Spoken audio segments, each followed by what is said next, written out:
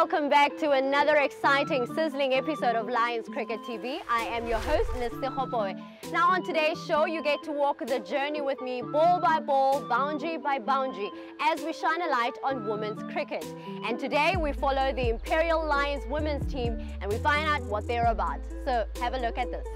On today's show, we are at the photo shoot of the Imperial Lions women's team, and we speak with spin bowler Raisibe Ntozakhe, aka Slice, about her journey with the national team.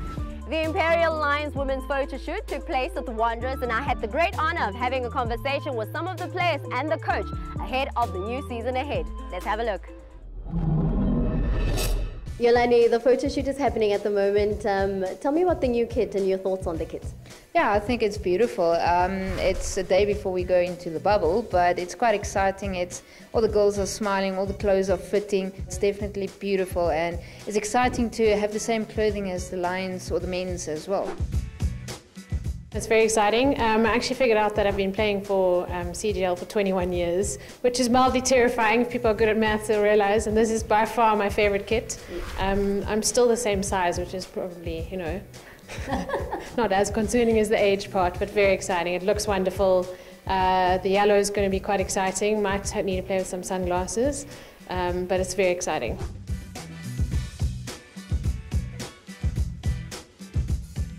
I think is, I just love it. It's great. Hey, it's great. They put a lot of effort on it, and I just love it. And is this a match-winning and tournament-winning oh, kit? Yes. Oh yes. Are we bringing the trophy? Eh? Coach, how excited are you of the new season ahead? As the Imperial Lions women, we are very excited for this season. Obviously, COVID was tough on us for the last 18 months, but we're just happy to get on the park again and play a bit of cricket against some of the top unions within Cricket South Africa, especially on the women's side. I'm very excited, to be honest. Um, I played a few seasons for the Gauteng. It's good to be back, maybe after two years. Um, I'm really excited to, to join the girls. I'm just looking to just play my game, you know, express myself from what they've taught me. I'm looking forward to take it to the game, play with my team, be a team player. I think having fun because last season I, I, we didn't experience a lot of that. Um, again, scoring runs most importantly, um, changing my average. And let's talk about the preparations heading into the season. Uh, we've done a lot of preparations. We've been starting since end of June. A lot of one-on-one sessions, a lot of conditioning sessions with our S&C, a lot of uh, team building sessions as well. We've had our trip to Sun City uh, about two weeks ago. So the ladies are looking very much forward to, to challenging the other unions and, and, and fighting for that number one spot. And as a coach, what would you like to see unfold on the pitch? I think as a coach, we would like to see all the stuff that we've done in the preparations behind the scenes, that coming to, to part and actually making sure that we get over that, that line and making sure we get the, the winning on, on our side. We also want to make sure that we, our players personally excel on their personal goals and as a team we have got our goals but we want to make sure that we tick all those boxes and making sure we excel in all forms. What has been the changes that you've seen over the years, especially being part of the team for so many years? I think the development of the club structure has been quite great. Uh, there's a lot more girls. The com competition is fantastic. Uh, back in the day, provincial was the only you know women's setup that there was. So there was a small pool of girls. Now you're having to pick from 50, 60 girls. So that's very exciting. The talent coming through is fantastic. Younger girls now having an opportunity to play provincial cricket with SA players is also you know, going to up the up the game quite quickly. So it's very exciting. Firstly, Tumi, let me officially welcome you to the Imperial Lions team. How does it feel to be part of the team? I'm very excited to join the Imperial Lions. Um, I just I'm just looking forward to having fun with the girls and you know just being closer to home. And your motivation from moving from Northwest Dragons right to Imperial Lions, what motivated that? Uh, me playing for the Proteas and traveling, I couldn't be um, close to family, so I really wanted to be close to my family. You know, it gets a bit tough there and it's mentally draining sometimes, so yeah, I just wanted to be closer to home.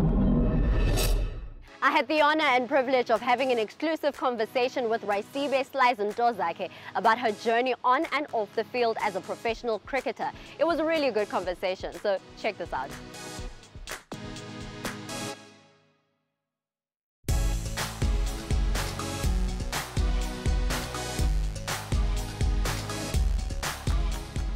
Today we're going to be having an interesting but in-depth conversation with Raisibe Ntozakhe.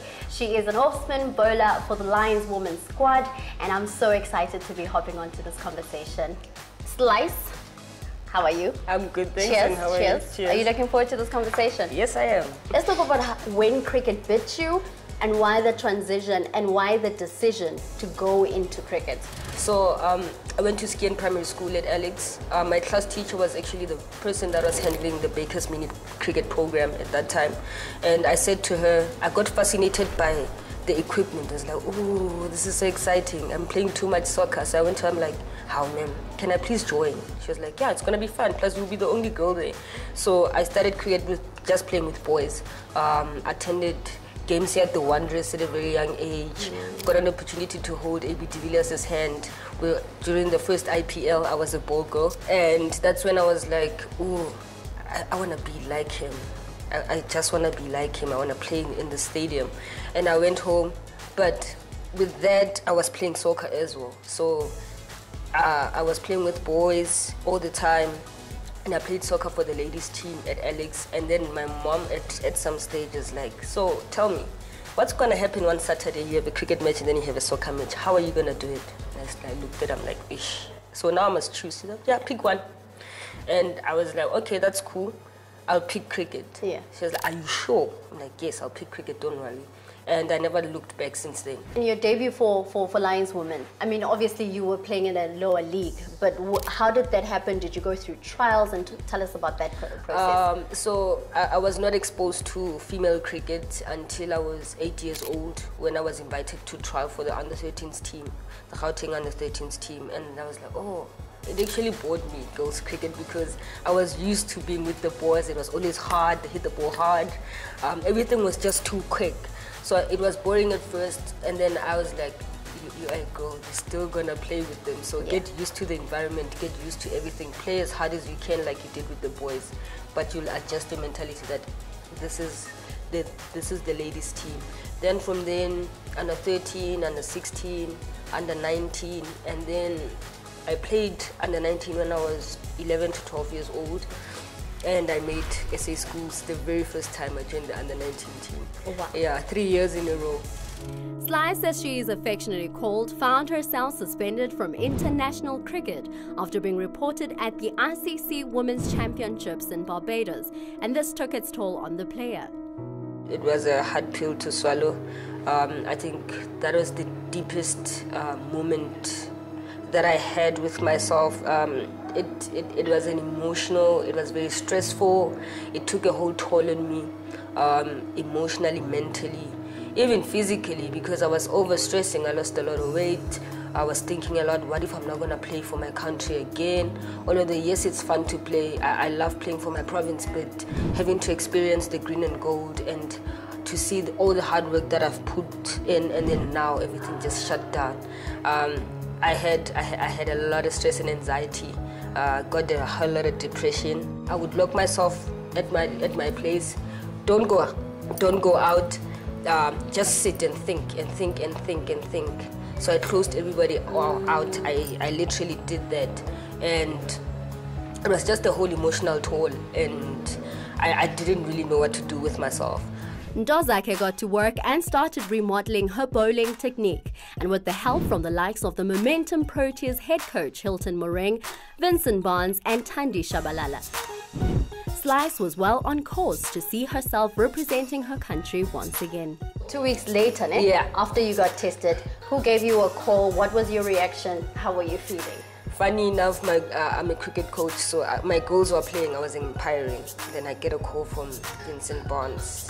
He was shouting, he was all over the place. Slice, you cleared. Slice, Slice, you cleared. I'm like, Coach, wait, what? Slice, you cleared. You passed. You passed, Slice. The excitement through his like, I'm jumping around in the office now. I was so excited. I, I did. I, I think I only two tears just fell out Yeah. of my face, and I was just like, "Oh my word, are you serious?" He was like, "Slice, you passed. You did it. Your career is back on track now." It has been a journey itself, from that little kid to the adult that I am now, and I'm still in the, with the, within the same union for all of those years. So yeah, it's it's awesome. It feels awesome to, to, to be part of this family. It, it means a lot to me. It's, it's, it's something that I hold dear to my heart because it, this is the the union that made Slice. Yeah. Yeah. And just like that, another successful episode done and dusted and in the bag. Remember to hit us up on all our social media platforms as we would love to hear from you. But from me and everybody that's part of this amazing team, we'll see you guys on the next episode.